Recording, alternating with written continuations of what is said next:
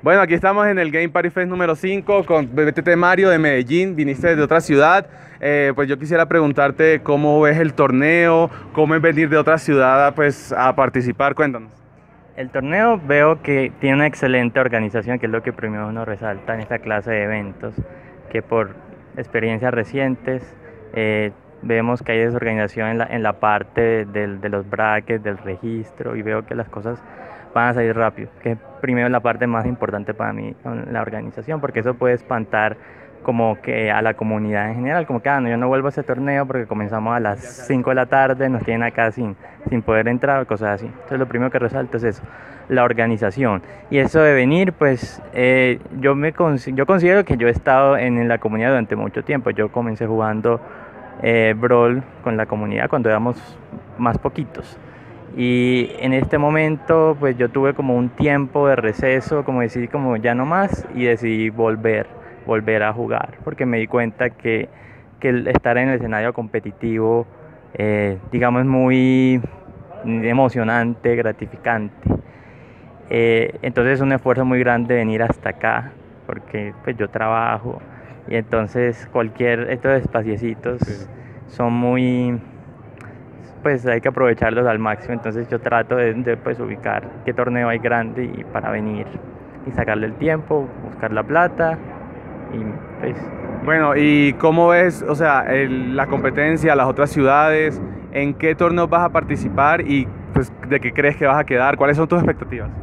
Bueno, em, el nivel, pues aquí están los jugadores que yo reconozco como los mejores de, del país y sé que la competencia va a estar muy, pero muy, muy dura. Sin ninguna pelea va a ser una pelea de baile o, gratis. Todo el mundo tiene que sudársela para poder pasar. Entonces, eh, sí, mm, o sea, mm, mm, eh, estamos los que, pues considero, tienen el nivel más alto en el, en el país. ¿Y de qué crees que vas a quedar?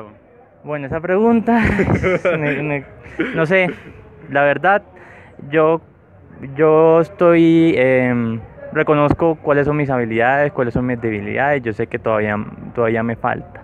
Entonces vamos a ver que eso también depende como eh, en el momento del torneo cómo me comienza a sentir, pues si uno adquiere la confianza, si logro tranquilizarme y todo eso, yo podría aspirar por ahí quedar en los primeros 20. Pues yéndome por muy bien. Que yo sé que ya de ahí para abajo ya comienza la competencia muy dura y yo, yo sé quiénes son mejores que yo, independientemente pues, de lo, de lo que haga. Pero pues igualmente. Así ah, yo doy todo lo, todo lo que tengo, pero tengo que reconocer. Bueno, BTT Mario de Break the Target de Medellín. Eh, una última cosa es una invitación a las personas pues casuales que les gusta el juego pero como que les da miedo, como que qué, qué, consejo les puedes dar para que empiecen a ser competitivos.